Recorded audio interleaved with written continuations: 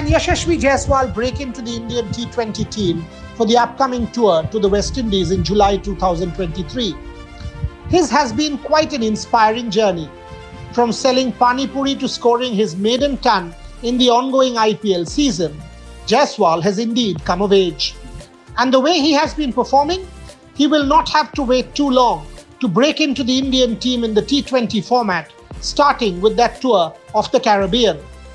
Who would have thought that Jaiswal, still only 21 years of age, would top the orange cap list midway through the season? He has done just that, amassing 428 runs from 9 innings at an average of 47.56.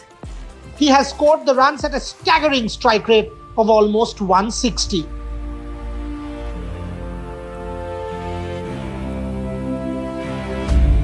During his 62 ball 124 against Mumbai Indians at the Wankhede Stadium, Jaiswal smashed 16 fours and 8 sixes.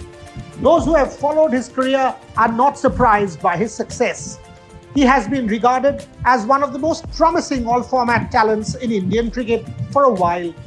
Since making his first class debut for Mumbai in January 2019, Jaiswal has scored 1845 runs in just 15 first class matches at an astonishing average of 80.21 and strike rate of 67.48. He already has nine centuries to his name in first class cricket. He is the youngest player to score a double century in 50 over cricket and was the leading run scorer at the Under 19 World Cup in 2020.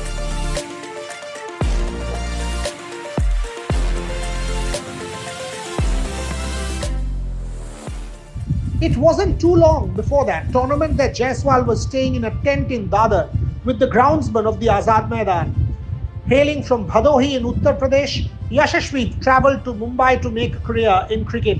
He had to undergo a lot of hardships during his early stay. He had to live in the tent, after which he was evicted from a shop he was working for in the Kalba Devi neighborhood. He even had to sell pani puri to make ends meet. Jaiswal's talent was first spotted by Jwala Singh, the coach who took him under his wing and provided the youngster a place to stay. Pretty soon, Jaiswal started turning heads with his knocks. He came into the limelight in 2015 when he scored 319 not out and took 13 for 99 in a Giles Shield match, an all-round record in school cricket which was recognized by the Limca Book of Records. Soon after, Jaiswal was selected in Mumbai teams and made his Ranji Trophy debut in the 2018-19 season. After taking his game a notch up during this IPL season, Jaiswal stands on the threshold of so much more for Rajasthan Royals and of course for India.